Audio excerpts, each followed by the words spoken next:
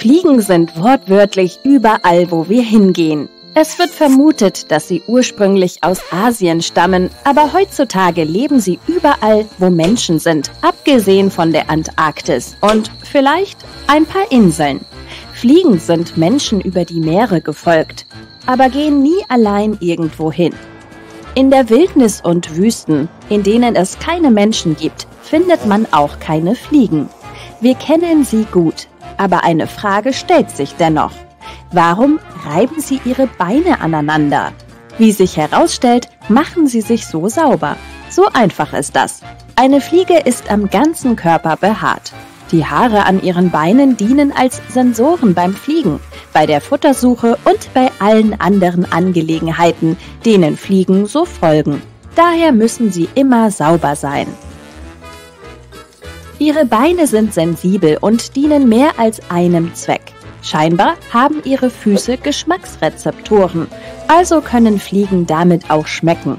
Sie können auf potenziellen Mahlzeiten landen, herumwandern und sie so probieren, bevor sie anfangen zu fressen. Fliegen können nicht kauen, also können sie ihr Essen nur trinken.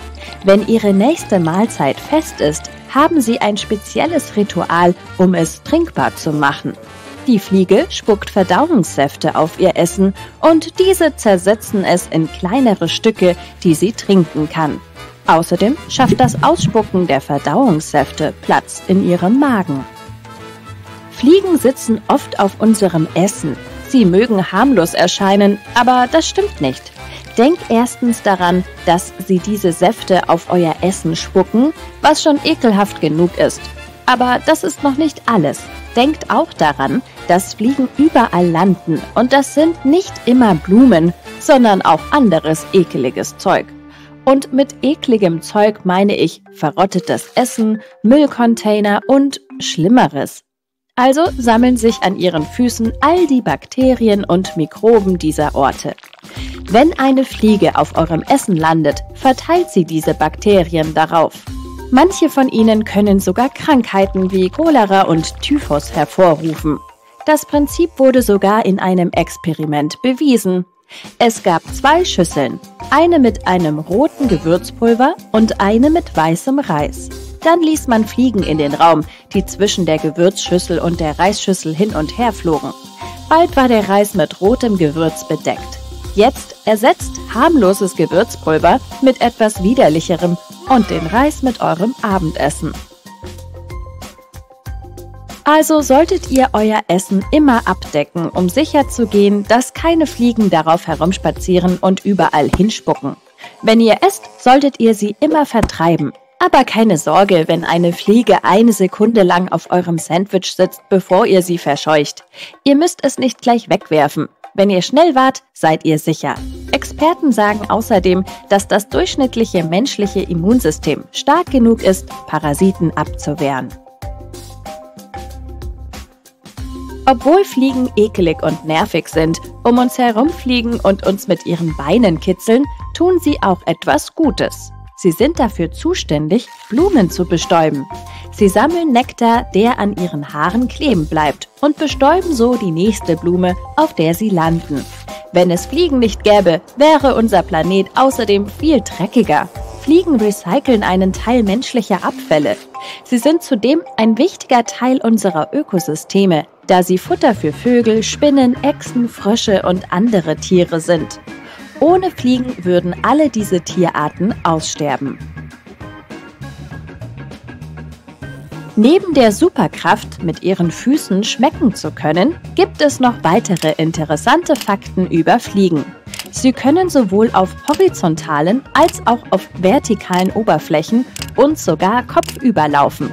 Der Grund dafür sind zwei Haarflächen an ihren Füßen, die eine klebeähnliche Substanz produzieren, die ihnen Haftung verleiht. Fliegen haben einzigartige Facettenaugen, die jeweils aus 3000 bis 6000 einfacheren Augen bestehen. Die Augen einer Fliege bewegen sich nicht, aber sie haben trotzdem fast eine 360-Grad-Sicht. Sie können sogar hinter sich sehen. Wo auch immer ihr also seid, eine Fliege sieht euch und jede andere Gefahr innerhalb eines oder mehrerer ihrer Einzelaugen. Neben den zwei Facettenaugen haben Fliegen auch drei einfache Augen auf ihrer Stirn, die als Kompass dienen und der Fliege bei der Navigation helfen. Fliegen haben auch eine beeindruckende Reaktionszeit. Habt ihr euch je gefragt, warum sie so schwer zu erwischen sind? Nun ja, für Fliegen sind wir Faultiere. Im Vergleich zu uns sehen sie alles in Zeitlupe. Verschiedene Arten haben unterschiedliche Zeitwahrnehmungen. Die Geschwindigkeit, in der wir sehen, ist nur halb so schnell wie bei einer Schildkröte. Eine Fliege sieht viermal schneller als wir. Schaut euch ein Video in der Geschwindigkeit 0,25 an und stellt euch vor, jemand würde sich euch so nähern. Das ist, wie Fliegen uns sehen. Also ja, sie haben genug Zeit zum Fliehen. Eine Fliege hat nur ein Paar Flügel aber zudem haben sie sogenannte Halterinnen, mit denen sie schnell abheben können. Vor Millionen von Jahren dienten sie als zweites Flügelpaar. Heute helfen sie ihnen abzuheben und das Gleichgewicht zu halten. Wenn eine Fliege eine Haltere verliert, fängt sie an, in Kreisen zu fliegen. Und wenn sie beide verliert, kann sie gar nicht mehr fliegen. Obwohl ihre Flügel bis zu 1000 Mal pro Minute schlagen, sind sie sehr langsam. Ihre Maximalgeschwindigkeit beträgt gut 7 km pro Stunde. Wenn eine Fliege in einer Stadt lebt und von genug Menschen und Müll umgeben ist, fliegt sie nie weit weg. Ihr Territorium ist dann nur etwa 1000 Quadratmeter groß. Ländliche Fliegen sind erkundungsfreudiger. Sie können bis zu 11 Kilometer weit wegfliegen. Eine Fliege lebt nicht lang. Ihre Lebenszeit beträgt etwa 30 Tage. Aber in dieser Zeit legen sie durchschnittlich 500 bis 800 Eier. Natürlich nicht 1000 auf einmal. Sie legen mehrere Male in ihrem Leben etwa 75 bis 100 Eier auf einmal ab. Die Larven schlüpfen innerhalb von 24 Stunden und brauchen eine Woche, bis sie zu einer ausgewachsenen Fliege werden. Und dann beginnt das Ganze von neuem. In kälteren Gebieten kann dieser Prozess doppelt so lange dauern. Die Holzfliege ist die größte Fliege der Welt. Sie lebt in Mittel- und Südamerika und wird bis zu 8 cm groß.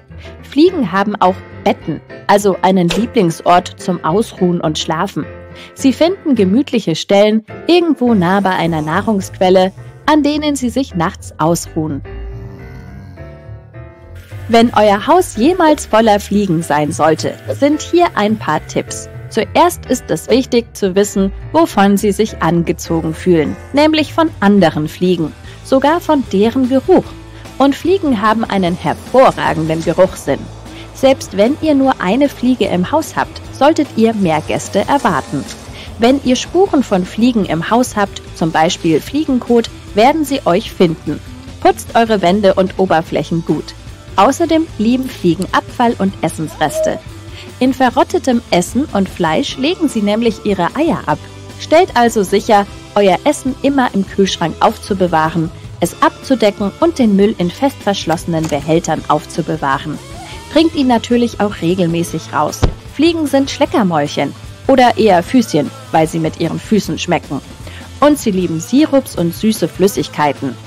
Zudem mögen sie Limonaden und Essig. Haltet diese also verschlossen und wischt Verschüttetes sofort auf. Zu guter Letzt leben Fliegen gerne in dreckigen, feuchten Abflüssen. Sie essen die Bakterien darin. Haltet eure Abflüsse also sauber und repariert Lecks sofort. Es hilft auch, alle Risse in euren Böden, Decken und Wänden abzudichten, falls ihr welche habt. Denn Risse sind einer ihrer Wege ins Haus.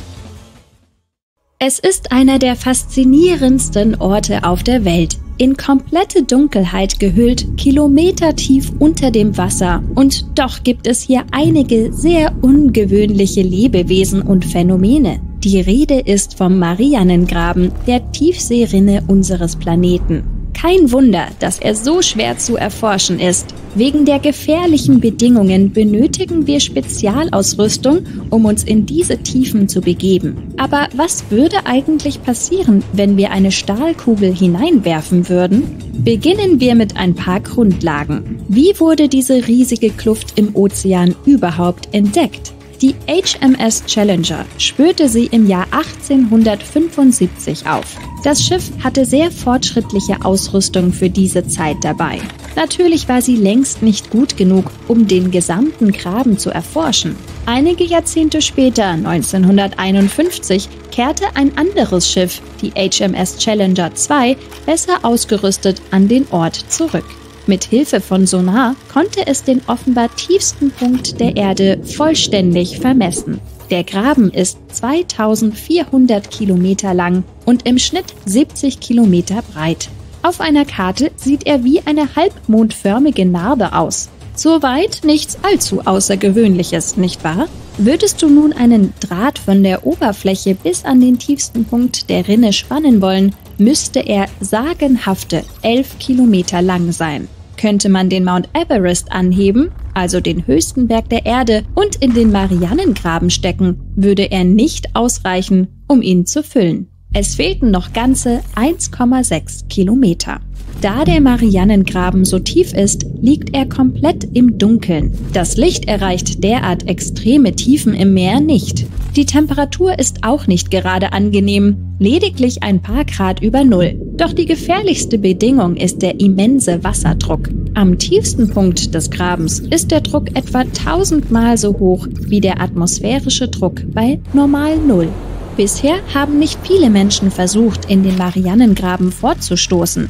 Die erste Mission startete vor über 60 Jahren. Jacques Picard und Don Walsh tauchten in einem Tauchboot ab. Der Abstieg dauerte ganze fünf Stunden. Unten verweilten sie dann gerade mal 20 Minuten. Allerdings konnten sie keine Fotos machen. Bis zu dieser Expedition waren die Spezialisten sich hinreichend sicher, dass dort unten wegen der gegebenen Bedingungen, vor allem wegen des immensen Drucks, kein Leben existieren könnte. Die Überraschung war daher groß, als im Scheinwerferlicht des Tauchboots ein ziemlich flaches Lebewesen auftauchte.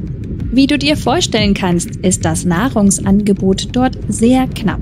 Welche Art Lebewesen sollte da denn bitte schön überleben? Und wie? Verblüffenderweise wimmelt es im Marianengraben nur so vor Unterwassertieren. Manche von ihnen nutzen andere Chemikalien wie Methan oder Schwefel, um zu überleben, während andere sich einfach von schwächeren Meeresbewohnern ernähren. Vorrangig findet man dort Xenophyoforen, Flohkrebse und kleine Seegurken. Manche haben sich durch einen Panzer aus Aluminium, das sie aus dem Meerwasser gewinnen, an die Bedingungen angepasst. Andere kleine Lebewesen wie Mikroben haben sich darauf spezialisiert, sich von Chemikalien, die frei werden, wenn das Meerwasser auf Gestein trifft, zu ernähren. Der Pseudoliparis gilt als der Rockstar unter den Bewohnern des Marianengrabens. Sie sind nur klein, etwa 8 bis 23 Zentimeter lang, durchsichtig und haben keinerlei Schuppen, sind aber die erfolgreichsten Raubfische weit und breit. Es ist kaum verwunderlich, dass manche Menschen sich vorstellen, der Megalodon könnte noch heute dort unten hausen. Weißt du nicht, was ein Megalodon ist? Nun, er war der größte uns bekannte Raubfisch der gesamten Erdgeschichte und der größte und unheimlichste Hai aller Zeiten. Wissenschaftler glauben, dass er vor sehr langer Zeit ausgestorben ist und die Idee, er würde noch im Marianengraben lauern, entbehrt jeder Grundlage. Zunächst hätte er lernen müssen, in totaler Finsternis zu navigieren. Er hätte entweder Biolumineszenz oder verdammt große Augen entwickeln müssen. Außerdem braucht ein Hai in der Größe eines Schulbusses verdammt viel Nahrung. Mikroorganismen und kleine Fische reichen da nicht. Kommen wir zurück zu unserer Stahlkugel. Was passiert, wenn wir sie im Marianengraben versenken? Wird sie dem Druck standhalten? Antworten liefert die Wissenschaft. Wir gehen von einer Vollkugel aus. In dem Fall reichte der Druck am Grund nicht aus, um sie nachhaltig zu verformen. Die Kugel bräuchte etwa zwölf Minuten, bis sie den Grund erreicht. Und die Temperatur?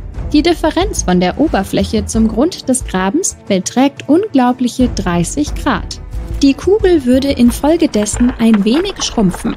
Zurück an der Oberfläche dehnte sie sich jedoch einfach wieder aus. Sollte die Kugel allerdings unten hängen bleiben, wird ein anderer Aspekt interessant. Würde die Kugel korrodieren? Die Korrosion von Stahl ist stark von der Sauerstoffmenge im Wasser abhängig. Ab einer Tiefe von 5 Kilometern bleibt der Sauerstoffgehalt in der Tiefsee konstant. Ich erspare dir die Mathematik, Jedenfalls würde es über 10.000 Jahre dauern, bis die Kugel unter diesen Bedingungen komplett verrostet wäre. Nun frage ich mich aber, was für uns Menschen vonnöten wäre, um in diesen Tiefen zu überleben. Schauen wir uns einmal an, was bei vergangenen Expeditionen an diesen geheimnisvollen Ort zum Einsatz kam. Syntaktischer Schaum. Warum? Es ist das einzige Material, das zugleich schwimmt und dem extremen Druck standhalten kann. Ohne diese Art von Schutz würden unsere Lungen im Handumdrehen kollabieren. Der Druck würde zudem Flüssigkeit in unserem Mund pressen und den so dringend benötigten Sauerstoff durch Wasser ersetzen. Und schließlich müssen wir wieder an die Oberfläche zurückkehren. Ein Tiefseetauchboot, das dort eingesetzt wurde, hatte 450 Kilo Stahlgewichte an Bord, um das Sinken zu ermöglichen. Die Gewichte waren mit einem speziellen Draht befestigt, der innerhalb von nur 11 bis 13 Stunden im Meerwasser vollständig korrodierte. Sollte etwas schiefgehen, würde das Tauchboot auf diese Weise schneller auftauchen. Aufgrund der extremen Bedingungen ist die Sauerstoffversorgung äußerst relevant. Ein Tauchboot, das in den Marianengraben abtauchen soll, sollte möglichst ein System zur Aufbereitung der Luft an Bord haben, um zu vermeiden, Unmengen Sauerstoff mitnehmen zu müssen. Und schließlich wäre da noch die Frage der Elektrizität. Da unten gibt es nämlich nirgends Steckdosen, um mal eben das Handy aufladen zu können. Ein ausreichend proportionierter Akku für alle wichtigen Geräte wie Kommunikation, Sauerstoffversorgung, Beleuchtung und so weiter muss also auch mit. All diese Punkte scheinen heute keine ernsten Herausforderungen mehr darzustellen. Man kann inzwischen sogar eine Reise in den Marianengraben buchen. Drei glückliche Abenteurer nahmen 2020 an einem solchen Ausflug teil. Sie tauchten in einer 9 cm dicken Titankugel, die sie vor dem enormen Druck gut schützten, ab. Jeder Gast bekam seine ganz individuelle Rundfahrt. Sie dauerte etwa 14 Stunden. Der Abstieg selbst nahm vier Stunden in Anspruch. Am Grund durften sie dann einen Blick auf die außergewöhnlichsten Kreaturen unseres Planeten werfen. Und schließlich mussten sie die vierstündige Rückreise an die Oberfläche antreten. Happy Birthday, liebe Sarah. Mm-hmm, to you. Ah, du bist mit Freunden und Familie zusammen. Die Torte ist einfach perfekt und Geschenke gibt es auch noch. Dein Freund überreicht dir eine hübsche Schachtel. Bitte lass es Make-up sein, denkst du dir, und reißt sie auf. Aber du findest einen bunten Würfel. Äh, warte mal, ist das ein Zauberwürfel? Der sieht aber komisch aus. Du bist echt sauer auf deinen Freund. Hätte es nicht ein Halstuch, Schmuck oder wenigstens eine Schachtel Pralinen sein können? Ein Zauberwürfel? Im Ernst? Dein Liebling bemerkt deine Enttäuschung gar nicht und erklärt dir, dass es ein 1x1 Zauberwürfel ist. Das Lustige daran ist, dass er immer im gelösten Zustand ist. Das klingt ganz schön langweilig, aber unter Zauberwürfelfans gilt er als die am schwersten zu lösende Variante. Als alle Gäste gegangen sind, siehst du dir nochmal deine Geschenke an. Du hast den Würfel beiseite gelegt, doch dann fällt er dir vor die Füße. Äh, na gut, denkst du dir, dann informierst du dich halt ein wenig über dieses Ding. Du findest heraus, dass du so einen Würfel aus einer Ecke eines 3x3 Zauberwürfels selbst basteln oder einfach im Laden kaufen kannst. Manch einer sagt, das wäre der erste Schritt zur Lösung des Würfels. Der zweite Schritt ist, ihn nach Hause zu bringen und schon ist der 1x1 Zauberwürfel gelöst. Aber sollte es wirklich so einfach sein? Der 1x1 oder 1x1x1 Zauberwürfel wurde Anfang des 19. Jahrhunderts vor dem Original-Zauberwürfel erfunden. Dem Erfinder wird sogar unterstellt, er hätte die Idee von dem 3x3 Würfel geklaut, aber das streitet er ab. Das Geduldsspiel hat sechs Seiten mit verschiedenen Farben und einen zu seiner Zeit einzigartigen Mechanismus. Du kannst ihn nicht durch Drehen lösen, du musst das gesamte Ding rotieren. Du inspizierst das Subjekt skeptisch. Kann man ihn überhaupt verdrehen? Sieht ziemlich unmöglich aus. Und wenn er immer aussieht, als wäre er schon gelöst, heißt das, du kannst ihn gar nicht lösen? Viele Zauberwürfelfans behaupten das. Der aktuelle inoffizielle Weltrekord liegt bei 8 Minuten und 59 Sekunden. Der Rekord für das Lösen des 3x3 Zauberwürfels liegt bei 3,47 Sekunden. Ein weiterer Beweis, dass der 1x1 nicht ohne ist. Du suchst nach einem Algorithmus und versuchst dein Glück. Hier siehst du die 1x1 Zauberwürfelsprache. Jetzt musst du nur noch üben, den Würfel zu drehen. Du musst dazu mit einer Hand loslassen und ihn zwischen Daumen und Zeigefinger rotieren. Das ist nicht leicht, wenn du noch Anfänger bist, aber es wird mit der Zeit. Hast du ihn gedreht, greifst du mit der zweiten Hand wieder zu. Genug geübt. Jetzt bist du bereit für den Algorithmus. Und so geht's. Drehe die Oberseite nach hinten. Drehe die rechte Seite nach vorne und zwar zweimal. Drehe die Vorderseite im Uhrzeigersinn. Drehe die Vorderseite gegen den Uhrzeigersinn. Du machst das großartig. Weiter so. Drehe die Oberseite nach hinten. Du drehst dabei den ganzen Würfel. Drehe die rechte Seite nach vorne. Drehe die linke Seite nach vorne.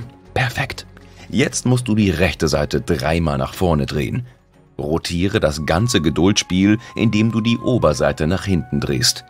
Drehe die Vorderseite im Uhrzeigersinn, drehe die rechte Seite nach vorne.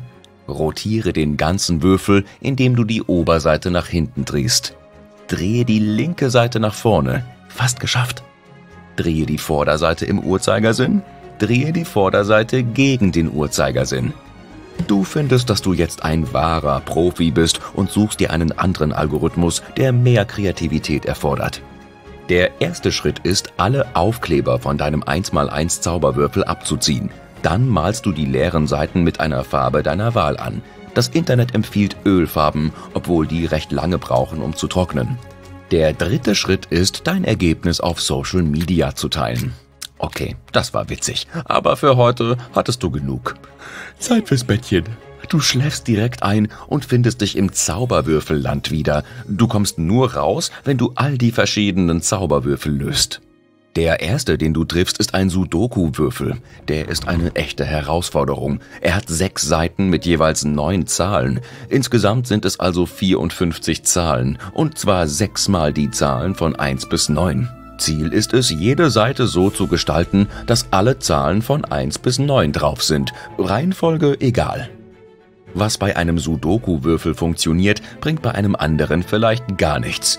Du kannst ihn nicht lösen und brauchst ein paar Tipps. Der Würfel erklärt dir, dass das Geheimnis ist, Zauberwürfel und Sudoku-Techniken zu kombinieren. Es soll wohl auch helfen, ein 2D-Modell mit allen Zahlen auf ein Blatt Papier zu malen. So kannst du leichter die Anordnung aller Zahlen erfassen. Die Zahlen in der Mitte jeder 3x3-Seite lassen sich nicht bewegen. Du musst die Schichten drehen, um die Zahlen in den Ecken richtig zu positionieren. Die Zahl in der Mitte hilft dir dabei. Der Rest ergibt sich quasi von selbst. Ein paar hundert Drehungen später hast du das Ding geschafft. Der Sudoku-Würfel lässt dich passieren.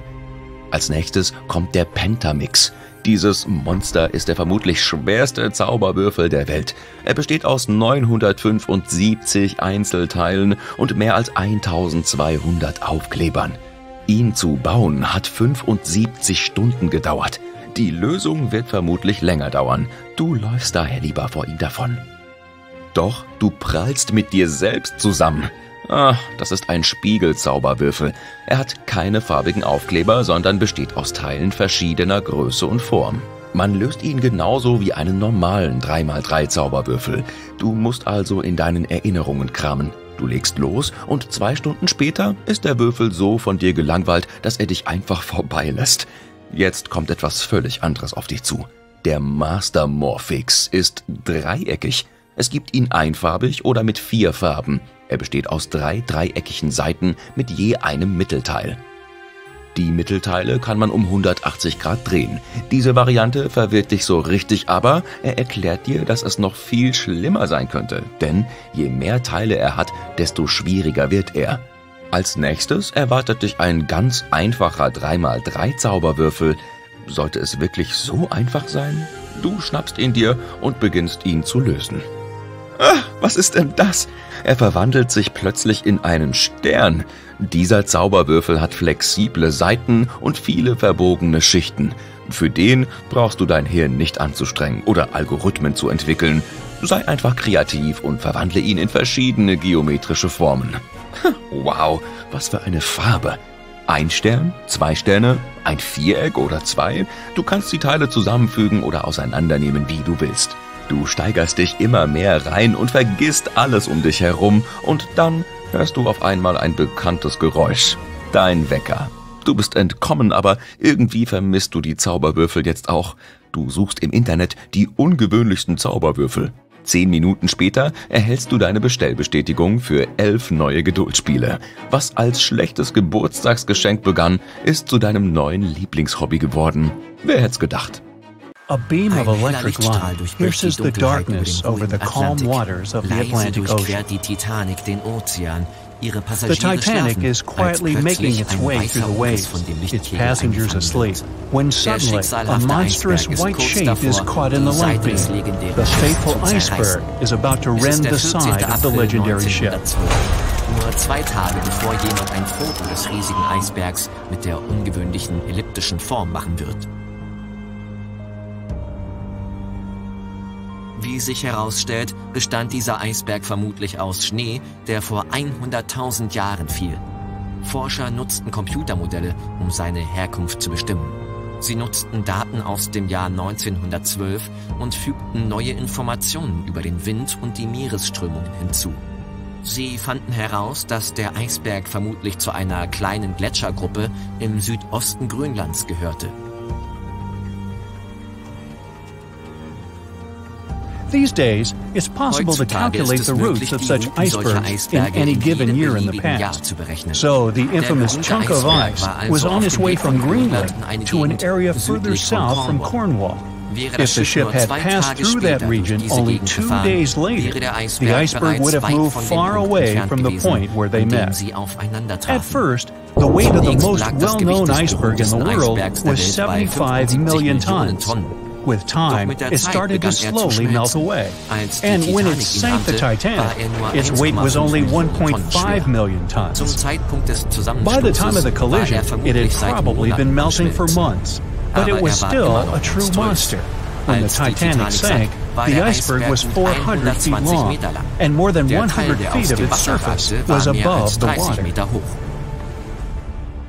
Some people believe it was a supermoon that caused the Titanic to sink. That night, there was a rare lunar event. It hadn't happened for 1,400 years. In normal conditions, the iceberg wouldn't have traveled so far south without melting and losing the largest part of its mass. But the supermoon could have been the reason for an unusually high tide that pulled the iceberg away from the glacier way faster than usual. There's a specific type of bacteria that slowly consumes the remains of the Titanic. Salt corrosion, ocean currents, freezing temperatures, plus this rust-eating microorganism might consume the entire wreckage.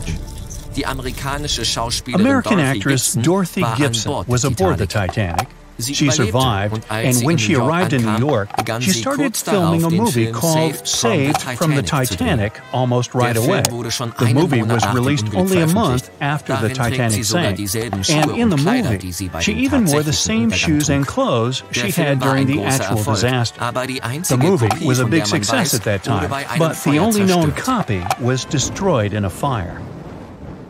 14 years before the Titanic sank, a novella called Futility had been published, and it seemed to have predicted the whole event. The plot centered around a fictional ship called the Titan that sank during its voyage. The Titan was almost the same size as Titanic, and they both went to the bottom in April. The reason was hitting an iceberg, too. Both the real and fictional ships were described as unsinkable, and both of them had the legally required number of lifeboats, which, as it turned out later, were nowhere near enough. We've seen it in the movie, but there were some real-life love stories happening on the Titanic too. Thirteen couples even took a trip on the Titanic as part of their honeymoon. One of the couples owned Macy's department store in New York. Once it became clear the Titanic was rapidly sinking, the woman refused to go into a lifeboat without her husband but he didn't want to join her while there were still women and children who he thought had to go first. Then his wife gave her coat to her maid. She insisted that the maid should get into the lifeboat, and she wanted her to be warm. As for the woman herself, she decided to stay with her husband till the end. Some people believe Titanic sank because of a mummy, not an iceberg. It all started around 1000 BCE with a mysterious woman who lived in Egypt, in the city of Thebes. People knew little about her, but they called her a priestess. Her mummy was put in a wooden sarcophagus and covered with a large lid with the image of her face and some mystical inscriptions. This place had been hidden until the first half of the 19th century, when a group of locals accidentally came across it. They disturbed her peace. No one knows how, but the mummy disappeared that day without a trace. A couple of decades later, a group of rich friends from England traveled to Egypt and found the empty mummy casket with the image of the priestess, whose dark eyes seemed to be looking into the void. They decided to buy it, but the buyer disappeared the same night before he even got the case. All members of the group had some accidents. The casket changed its location a couple of times until it, as some believe, ended up on the Titanic. It took more than 70 years for a robot submarine to find the ruins of this legendary ship. The wreck lies nearly 13,000 feet under the surface of the Atlantic Ocean, split into two halves. Why did the liner break apart? No one knows exactly. Some think it happened because of the water that got inside when the ship collided with the iceberg. The pressure was so powerful it separated two parts of the vessel, starting with the ship's bottom structure. Others say it was because of the hull rivets. They had a high concentration of slag or smelting residue, and that's something that can cause the metal to split apart. The ship generally had many flaws, starting with the design. The watertight bulkheads weren't completely sealed on top. This allowed the water to flow between the compartments and, in the end, sink the vessel. The iron of the ship's rivets and steel of the hull ended up ruined because of high sulfur content, cold temperatures, and high speeds. The steel shattered and the rivets popped out quite easily. Because of this, Titanic sank 24 times faster than it would have otherwise. If the ship had hit the iceberg head on instead of ramming it with its side, it would have probably stayed afloat. How come the crew members didn't have binoculars? It would have surely helped them spot the iceberg on time and maybe even avoid the disaster. But the binoculars on the Titanic were locked in a storage cabinet. Only one crew member had the key, and he had been transferred off the ship right before it set sail. He later said he had remembered to hand over the key. But even without the binoculars, the ship might have had some time to change course and avoid the collision if the crew had gotten some warning. But that's the thing. Someone did warn them. About an hour before the incident, a ship that was relatively close to Titanic, the SS California, sent a message to inform them it had stopped because of dense ice field. But the warning never got to the Titanic's captain. Some experts say it was because the radio operator didn't think it was that urgent. And later, the SS Californian said they didn't get a call for help from the Titanic because their radio operator was off duty. Some say the crew on the Titanic couldn't spot the iceberg on time because of an optical illusion. Atmospheric conditions that night probably caused super refraction, which could have camouflaged the berg. After all, no one actually saw the iceberg until it was too close to the ship to somehow avoid the crash. Not even a whole minute passed between the moment they saw the iceberg and the collision. It was only 37 seconds, and it took Titanic 2 hours and 40 minutes to disappear below the ocean's waves.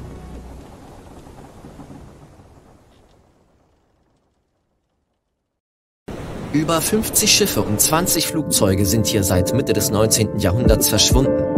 Du findest diesen Ort nicht auf einer gewöhnlichen Karte, da er keine offizielle Region des Atlantiks darstellt. Es ist nur ein kleiner Bereich Wasser in Form eines Dreiecks südöstlich vor der US-amerikanischen Küste.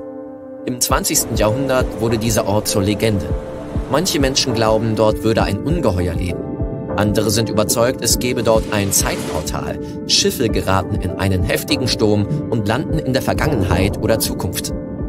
Einer Theorie zufolge befindet sich die Stadt Atlantis direkt unter dem Bermuda-Dreieck. Ihre Technologien erzeugen Energiestöße und zerstören Schiffe. Sogar Flugzeuge können in dieser Region verschwinden.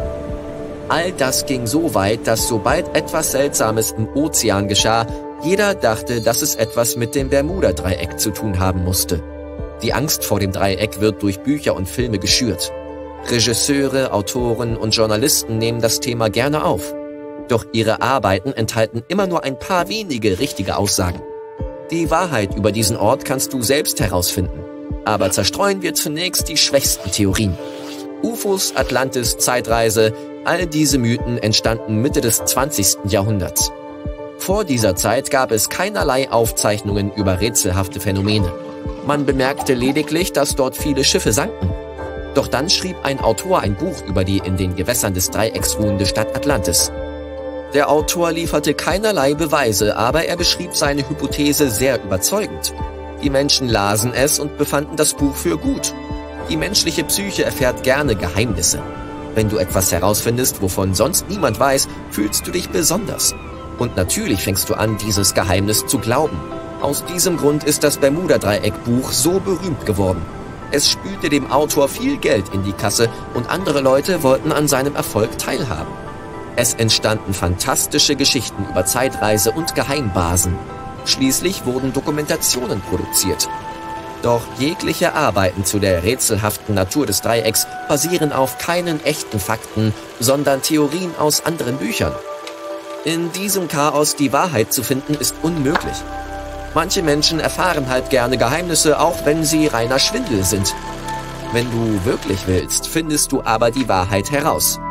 Nimm dir einfach einen Mythos vor und untersuche alle Quellen, die seine Wahrhaftigkeit untermauern. In den meisten Fällen wirst du nur unwissenschaftliche Bücher und Filme finden. Aber es gibt auch realistischere Theorien und die sind nicht weniger interessant. Einer Hypothese zufolge verschwinden die Schiffe aufgrund von Methan. In dieser Region gibt es Gaslagerstätten unter dem Meeresboden. Manchmal entweicht das Gas und steigt an die Oberfläche.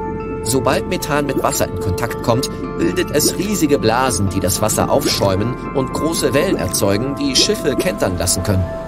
Diese Theorie ist ziemlich real. Dieses Phänomen gibt es tatsächlich, nur halt nicht im Bermuda-Dreieck. Keine der unzähligen Studien konnte erhöhte Konzentrationen des Gases in diesem Bereich nachweisen. Der letzte Austritt von Methan ist über 15.000 Jahre her. Eine weitere realistische Theorie handelt von Monsterwellen. Sie bilden sich ohne Sturm oder Wind. Die ruhige Wasseroberfläche türmt sich innerhalb von Sekunden zu einer Welle in der Höhe eines fünfstöckigen Gebäudes auf. Sie versenkt ein Schiff und verschwindet wieder. Das Meer ist wieder ruhig, als hätte es keine Welle gegeben. Manche Wissenschaftler glauben, das Phänomen entstünde, wenn eine Oberflächenmeeresströmung mit starkem Gegenwind kollidiert. Doch es gibt auch Fälle, bei denen kein Wind involviert war. Auch eine Kollision von warmen und kalten Strömungen wäre denkbar. Aber die aufregendste Theorie spricht von kinetischem Vampirismus. Unter bestimmten Bedingungen haben Wellen die Fähigkeit, kinetische Energie auszutauschen. Unter allen Wellen gibt es eine große, die Vampirwelle. Sie absorbiert die Energie aller anderen. Die Energie wird angestaut und entlädt sich schließlich. Das erklärt zumindest die Wucht und das plötzliche Auftreten solcher Wellen. All diese Theorien scheinen logisch, trotzdem haben Wissenschaftler dieses Phänomen bisher nicht umfassend klären können. Ja, Monsterwellen können Schiffe versenken, aber nicht nur im Bermuda-Dreieck. Sie treten selten auf, dafür aber in den Gewässern aller Weltmeere. Kommen wir also zur nächsten Theorie. Einige, die diese Gewässer kreuzten, berichteten von verrückt spielenden Navigationsgeräten. Kompasse und elektronische Geräte gaben den Geist auf, der Funkkontakt brach ab den Grund dafür finden wir, wenn wir das Dreieck vom Weltraum aus betrachten. Mit speziellen Sensoren und Geräten kann man sehen, dass das Erdmagnetfeld im Bereich des Bermuda-Dreiecks geschwächt ist. Dieses Feld schützt uns vor Solarstrahlung. Astronauten der ISS sagen, dass das Dreieck mehr Sonnenpartikel abbekommt als andere Teile des Planeten. Aus diesem Grund ist die Elektronik in dieser Region unzuverlässig. Doch solche Störungen betreffen keine Satelliten oder andere Objekte, die in der Erdatmosphäre schweben. Bereiche mit einem schwachen Magnetfeld gibt es überall auf der Erde und dort werden Navigationsgeräte so gut wie nie gestört. Das bedeutet, Schiffe und Flugzeuge funktionieren unter diesen Bedingungen einwandfrei. Allerdings versagt der Kompass im Bereich des Dreiecks. könnten magnetische Anomalien die Navigationssysteme beeinträchtigen. Auch diese Theorie wurde schnell widerlegt. Wissenschaftler prüfen regelmäßig die magnetische Karte der Region und finden keine Abweichungen von der Norm. Der Grund für die Unzuverlässigkeit von Kompassen ist keine Anomalie. Das Bermuda-Dreieck gehört zu den wenigen Orten, an denen der wahre Nordpol und der magnetische Nordpol übereinstimmen. Der wahre Nordpol ist der geografische Pol. Der magnetische Nordpol bewegt sich permanent um den wahren Nordpol herum. Hin und wieder treffen die Pole aufeinander und erzeugen ein Phänomen namens agonische Linien. Befindest du dich auf einer solchen Linie, verhält sich dein Kompass seltsam und zeigt nicht zum wahren Nordpol. Darum verschwanden Anfang des 20. Jahrhunderts so viele Schiffe in dieser Region. Die Menschen verwendeten gewöhnliche Kompasse. Sie hatten keine modernen Navigationstechnologien. Die Fehlfunktion des Kompasses konnte desaströse Folgen haben. Stell dir vor, du bist im Jahr 1901 Kapitän eines Schiffes. Dein Kompass weist dir den Weg. Du weißt, dass du immer nach Norden segeln musst, um das Festland zu erreichen. Du siehst auf den Kompass und bemerkst, dass seine Ausrichtung sich leicht geändert hat.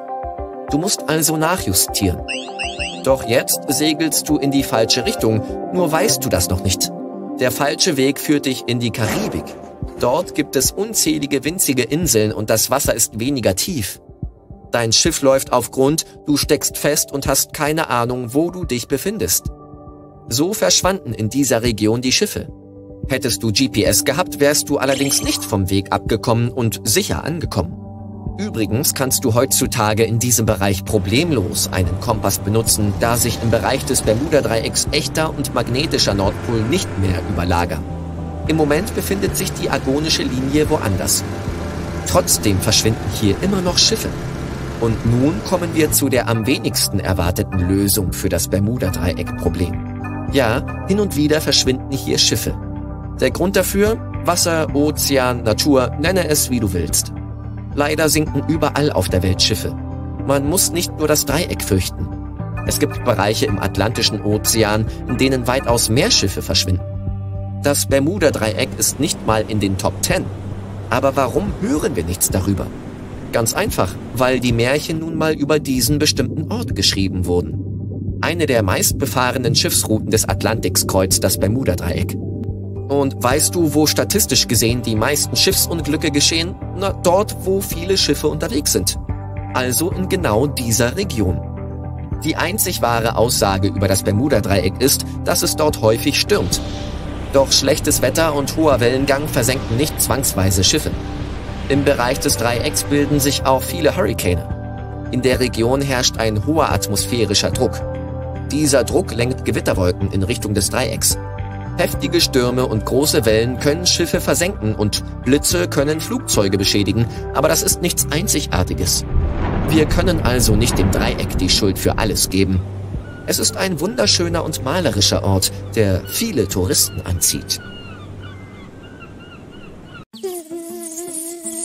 Aua! Äh, es gibt wohl kaum eine Person, die noch nicht von einer Biene gestochen wurde.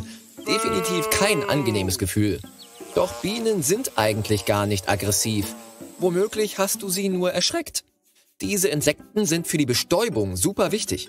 Ihre Existenz ist einer der Hauptgründe, warum unsere Pflanzen wachsen.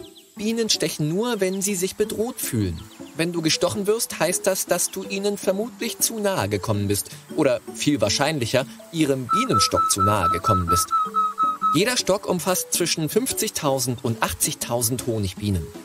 Genauso wie wir Menschen tun Bienen alles, um ihr Zuhause zu beschützen.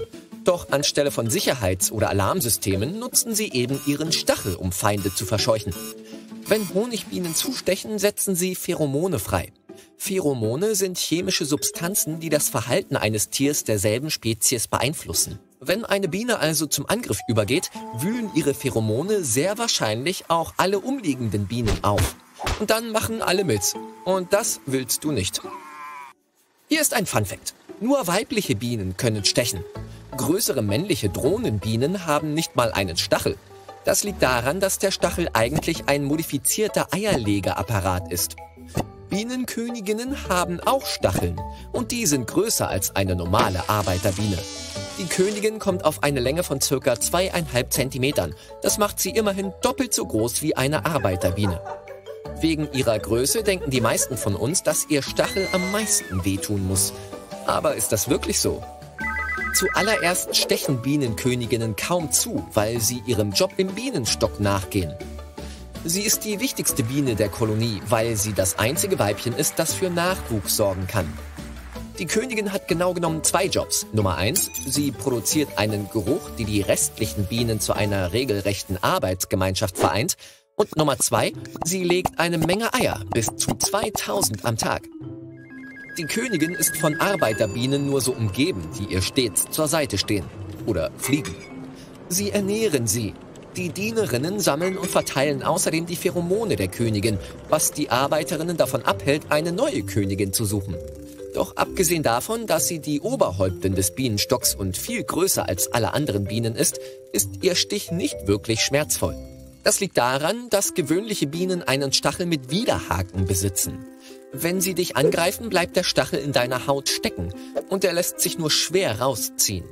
Der Stachel enthält zudem fieses Gift, das vor Proteinen nur so strotzt.